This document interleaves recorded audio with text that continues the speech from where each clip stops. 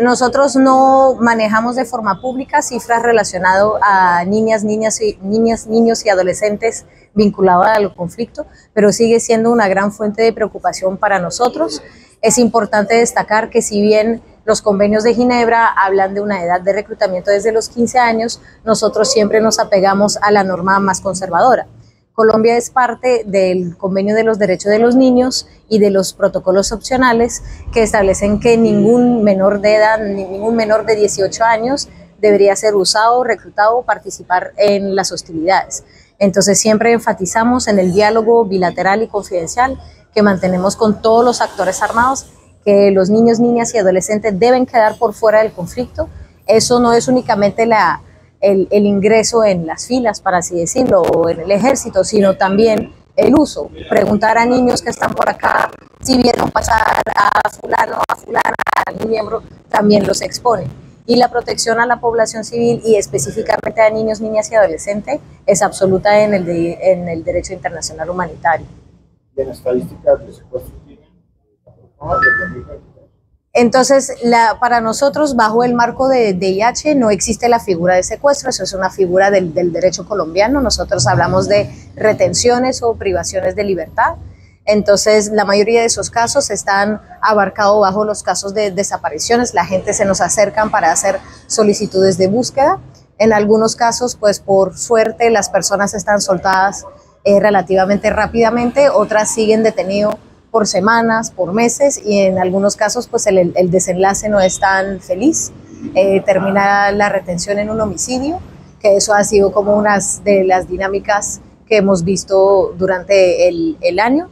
Eso sí, nosotros seguimos siempre dispuestos para facilitar las liberaciones de las personas retenidas, seguimos teniendo la, la posibilidad de, de facilitarlos y, y incentivar siempre que se mantenga algún contacto familiar aún durante la retención.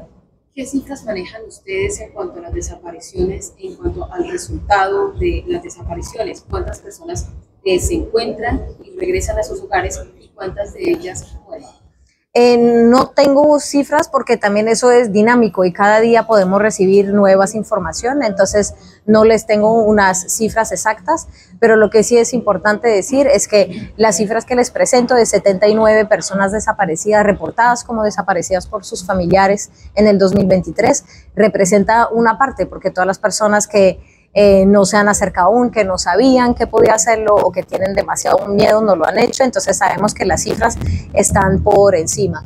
Y sin tener el panorama global es muy difícil poder establecer un, porcentaje, por ejemplo, de quiénes pudo salir de esa retención con vida y, quién, y cuáles casos resultaron en homicidios. Hemos visto mucha preocupación el tema de las afectaciones a los vehículos del personal de la, del CICR. Eh, creo que en este informe eso deberá estar incluido. ¿Cómo ven ustedes que los grupos armados ilegales ya se hayan, eh, digamos, involucrado, metido con, las misiones que ustedes realizan?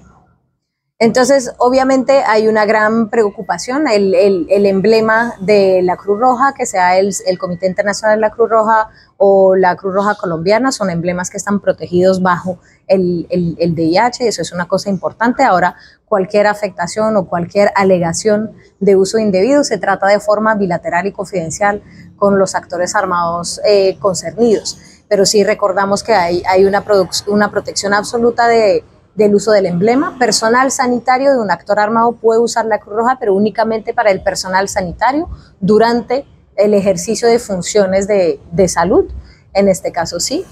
Em, y en cuanto a ciertas afectaciones, que eso sí pasaron este año, o sea, yo creo que hemos sido eh, mucho más público en, en esta ocasión en, en enero, donde eh, el CICR acompañaba una ambulancia que fue retenida por dos horas junto con el, con el herido, con el personal de salud, pues es también hacer un recordatorio, eh, un herido, cualquier sea su perfil, que sea civil o que haya sido antes de ser herido combatiente, cualquier herido es fuera de combate y su vida tiene que ser garantizada, tiene que acudir, que, que, poder acudir libremente a un puesto de salud, a un hospital para recibir la debida atención.